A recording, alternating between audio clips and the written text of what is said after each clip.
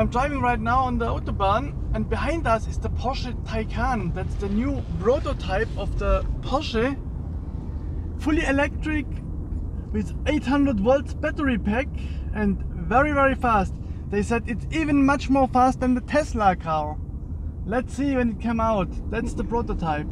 And now the Porsche fully electric car it's overtaking See, it's a prototype, it's fully taped. Even the exhaust is only taped. There's no exhaust, that's only fake exhaust. That's fully electric, 800 volts battery pack, electric Porsche car. Maybe you can see the, the, the bumper is still taped, the lights are still taped to hide the real design of the car.